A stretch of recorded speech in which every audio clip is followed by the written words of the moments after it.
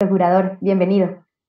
Muchísimas gracias. Yo quiero, en primer lugar, presentar un saludo de, de gratitud a todos los organizadores de este evento, particularmente a la Embajada de Estados Unidos en Colombia, al señor embajador, a Larry Sachs, director de la Agencia de Desarrollo Internacional, a todos los participantes, a todos los graduandos en este día de hoy, las 16 personas que nos van a deleitar hoy con estos videos, como ya lo hizo Mael. Un saludo especial a la doctora Nancy Patricia Gutiérrez, al doctor Miguel Ceballos y a todos los funcionarios que hacen parte de esta gran iniciativa. Yo lo que quiero destacar esencialmente es lo que representa esto para el país. Hace dos años expedimos la directiva de la Procuraduría de Protección de Líderes Sociales. Siempre era cómo innovamos, cómo ponemos en marcha la creatividad. Por supuesto, esta idea de la escuela de youtubers, que sabemos el impacto que tiene en Colombia, la mano de la AID, pues representa ese paso hacia el futuro, ese paso hacia adelante. Estos títulos que se les van a entregar a las 16 personas, a los 16 jóvenes que están involucrados en este proyecto, los necesitamos somos nosotros, el resto de la sociedad. Ellos sí saben cómo hacer acción social. Yo soy testigo porque estaba en los Montes de María y en varias zonas del país con Mayerlis para dar crédito de lo que ella representa. Ella representa esto, la acción por la defensa de los derechos de la gente, de los territorios, del medio ambiente, de todas esas causas tan nuevas y tan jóvenes que tienen que ser el patrimonio de toda esta generación. Por eso esa creatividad y esa innovación es lo que marca indiscutiblemente la diferencia. Esas causas sociales que están detrás, cuando a uno le, le trata de definir, y hubo muchos que se me metieron esa gran discusión de qué era ser líder social, qué era el liderazgo social en este país, la respuesta más importante y la única respuesta que hay que dar es que es el activo más importante que tiene la democracia colombiana, es el activo más importante que tiene la reforma social de este país. Son las voces que vigilan el poder, son las voces que van en contra de la desigualdad, de la inequidad, de tanta discriminación, tanta injusticia y violencia que se vive en los territorios de Colombia.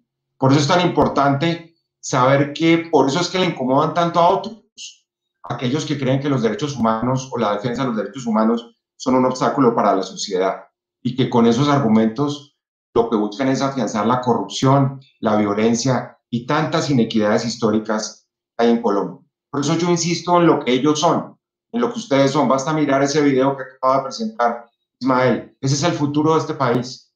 Ustedes son protagonistas de futuro. Ustedes están marcando la pauta. Nosotros los de otra generación, lamentablemente cargamos una deuda, un pasivo muy grande con las reformas sociales de este país. Hoy hay que reconocer la forma como ustedes están reconstruyendo este tejido social de Colombia, un tejido social deteriorado por el conflicto, deteriorado por la violencia, deteriorado por la desigualdad. Decía Mayerlis cómo las estigmatizaciones, por ejemplo, son la cuota inicial después de los atentados y de los asesinatos de los líderes sociales. Y aunque en muchos de los casos todavía no sabemos quiénes están detrás de los ataques, sí sabemos qué es lo que persiguen con la eliminación de estas voces. Y es eliminar el desarrollo de este país, es eliminar las posibilidades de la reforma social. Y vienen acompañados además, lamentablemente, de una ausencia del Estado en muchos territorios, que es lo que estamos tratando de perseguir. En estos días estamos hablando de la importancia, por ejemplo, de la justicia territorial. Todos los líderes sociales saben de los déficits de justicia que hay en los territorios de Colombia de la necesidad de inversión social, porque necesitamos presencia de la fuerza pública, pero acompañada de la inversión social, de todo lo que representa la defensa de los derechos sociales y económicos de los colombianos que tienen protagonistas y buceros que son precisamente en esta primera promoción estos 16 youtubers, porque al fin y al cabo esta es la pedagogía que necesita Colombia. Insisto mucho en que tenemos que inventar, inventar unas nuevas fórmulas para que estas nuevas generaciones que están en este momento saliendo a la palestra pública no les toque ni tolerar ni aceptar como le ha tocado a las altas generaciones del país y a todas las generaciones que han venido de atrás teniendo que soportar precisamente ese conteo de cadáveres de los líderes sociales. Eso es lo que es inaceptable, eso es lo que es inaudito, eso es lo que no podemos permitir como generación. Nosotros necesitamos un país que cumpla con tantos acuerdos que han sido incumplidos con las minorías en este país. Y allí la voz de los líderes sociales sigue siendo la voz del desarrollo, la voz del cambio social y de las transformaciones de Colombia. Porque además, y con esto concluyo, hay una dimensión ética fundamental. El liderazgo de los líderes sociales, ténganlo ustedes en cuenta y ese en el fondo es mi único mensaje.